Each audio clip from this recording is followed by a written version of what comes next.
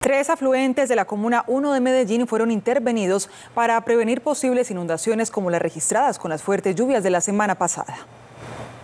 Una cuadrilla de obreros de cobertura de la alcaldía de Medellín intervino las quebradas La Seca, La Rosa y La Herrera en la Comuna 1 de Medellín. Esto para prevenir inundaciones causadas por fuertes torrenciales.